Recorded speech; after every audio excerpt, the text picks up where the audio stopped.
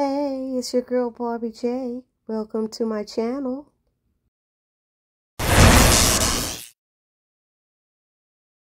Hey, hey, hey there, my Tyler Perry Sistas fans. It's your girl Barbi J here with my two cents about a scene that, guess what?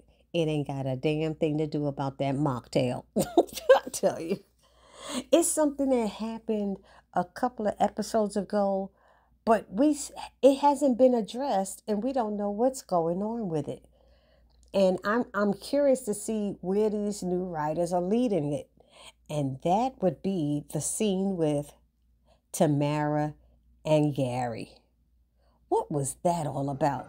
Let's cut to the chase. Neither of us need Hayden knowing about that. We both agreed it was nothing, so let's keep it that way. Fine by me. Not for nothing, y'all, but I am actually interested in knowing where this storyline is going.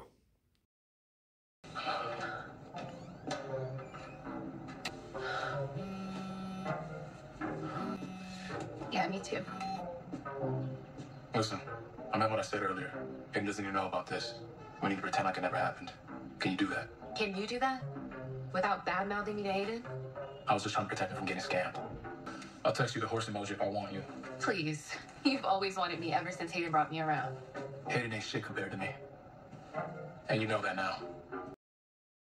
Tamara and Gary, he meets her at a hotel. He has sex with her. He doesn't want her to tell Hayden about it. Said Hayden don't need to know about it. And Hayden was a week or something. What did he say? That he was nothing. Hayden was is nothing. And now you know that, meaning that he was better in bed than Hayden was. And Tamara's trying to let Gary know, baby, baby, baby, you knew you wanted me from the moment get uh Hayden brought me around. Stop trying to play yourself.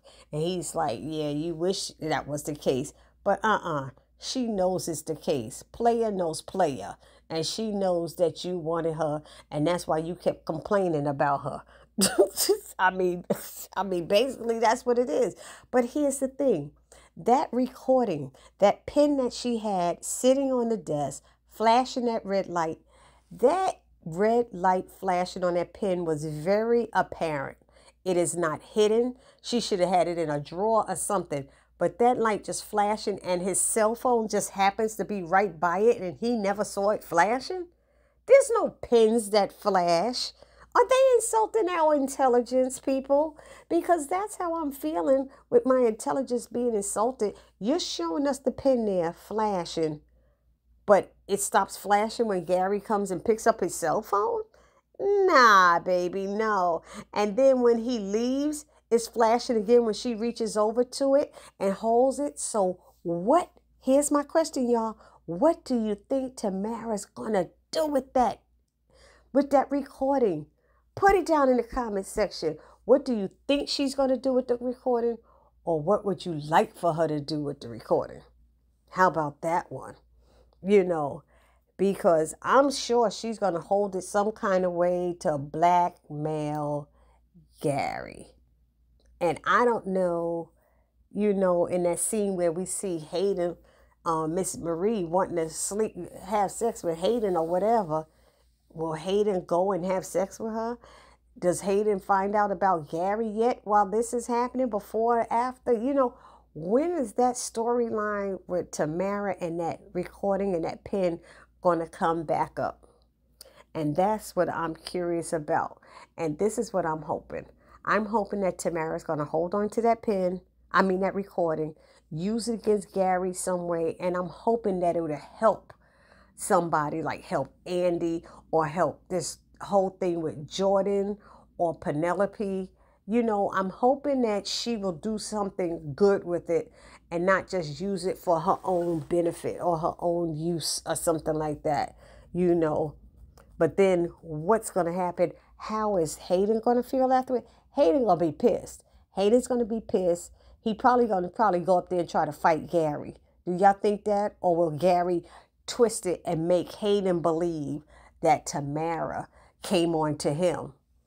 because he kissed Tamara. It looked like he reached down to kiss her, if you ask me. And then he came to see her in a hotel, and then he called her on his phone um, Hayden could see the incoming calls. He called her and told her, you know, that he keeps thinking about her and to think about him when he she's having sex with Hayden and all of this stuff. So I'm just curious about that storyline, but that's what I think is going to happen. That Tamara's going to use it in some kind of way to blackmail Gary, but I'm hoping that she uses it in a positive. I don't really want her to use it as a blackmail. I want her to use it to help somebody so they could see what type of person Gary is. And but see, Tamara's not the type that do something that didn't benefit her. I don't see her as trying to help anybody else anyway. So, like I said, y'all let me know down in the comment section what y'all think about it. And for those of you who haven't subscribed to my channel as of yet, please take a moment right now, hit that subscribe button, then hit the notification bell and select all. It will let you know every time I upload any new content to this channel. Then I ask that you smash that like button, which is the thumbs up button write a comment, join our conversation, y'all, and share because sharing is caring. And I will see you all in the next video. It's your girl, Barbi J, saying peace.